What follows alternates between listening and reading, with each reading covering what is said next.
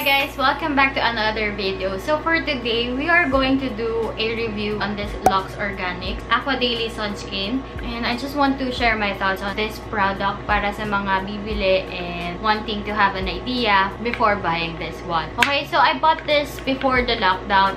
So right now, I'm just at home. Pero I will try out this throughout the day if ano bang mangyayari with the consistency of my makeup kung maapektuhan ba and such. So guys, without further ado, let's get started. So this Lux Organic Aqua Daily Sunscreen Broad Spectrum is with aloe vera, Centella acetica, and calendula extracts. SPF 50 PA+++, and it also has UVA and UVB protection. Okay guys, so I'm just going to read yung nasa likod niya, like what it claims.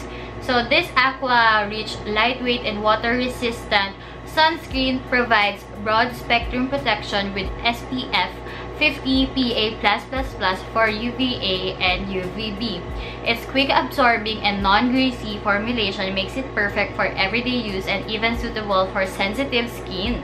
Made with additional benefits of aloe vera extract to keep skin supple and hydrated throughout the day. So how to use, apply a generous amount on the face and body Put sunscreen after moisturizer or before makeup. Reapply throughout the day for better protection from UVA and UVB rays, especially outdoors. Hindi ko alam na pwede pala to sa body. I thought it was just for the face. So, ito yung laman nung box. And also, guys, this is made in Taiwan, not in Korea pala. And nakalagay naman dito yung manufacturing date niya, 2020 0103 Expiry date, 2023-0107. Kung ano yung nakalagay sa box, yun din yung nakalagay sa label dito. Doon tayo mag-focus sa mga claims niya. So, this is lightweight, non-greasy, and no white cast and pwede siyang i-apply before makeup. So, in all honesty, yun yung dilemma ko in regards to choosing a good sunscreen. Usually kasi, ang mga sunscreen is nakaka-apekto sa consistency ng makeup mo or ng foundation or hindi na nagiging same effect yung naibibigay ng makeup kapag nag-apply ka ng sunscreen. So, this one claims that And I'm going to show you guys totoo ba yung claims niya na lightweight pa siya, non-greasy, no white cast, okay? So this is also cruelty-free alcohol-free, and paraben-free.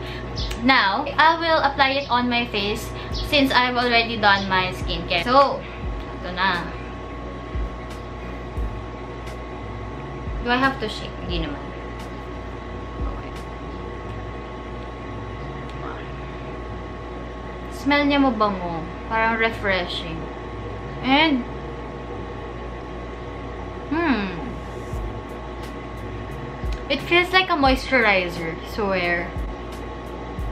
It doesn't feel like a sunscreen. So, alam niyo naman yung feeling ng sunscreen. Ako, I hate it kapag ka ang lagkit-lagkit. Also, sa leeg. Don't forget yung leeg. I will be doing my usual makeup lang. So, I know na wala nang white cast yung makeup ko. So, if merong white cast, ito lang yung magkakos nun. Okay.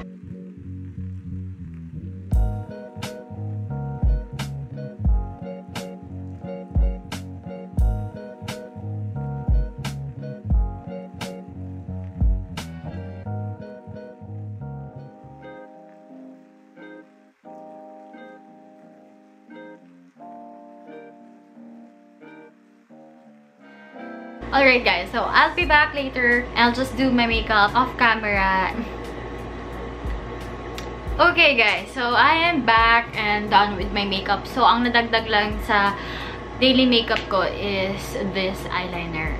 Okay, so I tried my best. Hindi ako magaling mag-eyeliner and I think it's okay naman. And bagay siya sa look, sa outfit. Okay, so it's already 12.08 and I'm going to see later, mag-i-update ko kayo throughout the day kung what will happen on my makeup, okay? So, kung maapektuhan ba ng um, Lux Organics sunscreen yung whole makeup. So, itong product lang ang dinagdag ko. So, if there are changes sa makeup ko or whatever, sasabihin ko sa inyo throughout the day, okay? So, okay guys. This is the end result. Wala akong nakikitang difference at all Actually, mas gusto ko nga yung finish ng makeup ko ngayon kasi mas parang glowy siya and parang healthier looking yung skin ko. I don't know if you guys could agree but I put some highlighter. Yan, yung nakikita nyo. But, pero mukha talaga siyang healthy looking. Super refreshing ng smell niya. The texture of the sunscreen is para siyang eye white na aqua moisturizer. You could compare this one to that uh, moisturizer. Pero hindi siya moisturizer. Ito ha. I could agree on the claim na lightweight siya. And I could agree also on the non-greasy, hindi malagkit. And um, to test out the no white cast claim, I'm going to use my phone and then tingnan natin if may white cast.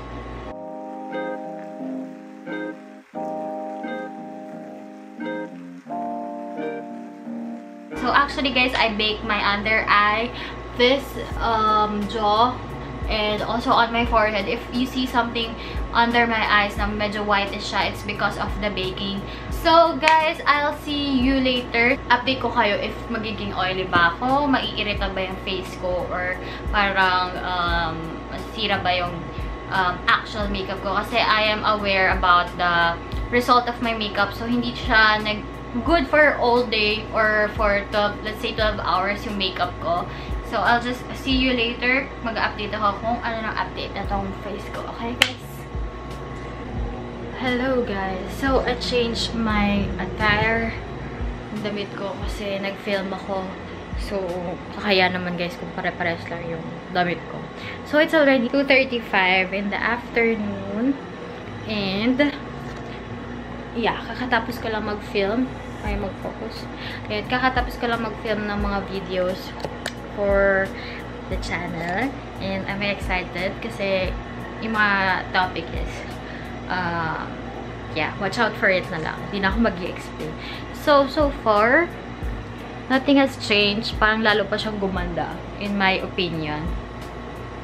So, I hope this will stay longer. Kasi ako, nasa aircon nga pala yung, ano ko ha, yung, yung environment ko. So, bababa ako ngayon and I will try na bumaba and kung kakayanin ko yung init sa baba. And titignan natin yung situation ng face ko. And also, I will have lunch kasi hindi pa ako nagla-lunch. So, yeah, here's the ring light na nabili ko nga pala sa Shopee for super murang halaga. Okay, thank God may Shopee. Woo! Woo! okay guys, so, yeah, let's see later kung anong mangyayari sa face ko. Hi guys, so this is the makeup look after 6 hours because right now it's 6.11 yung focus.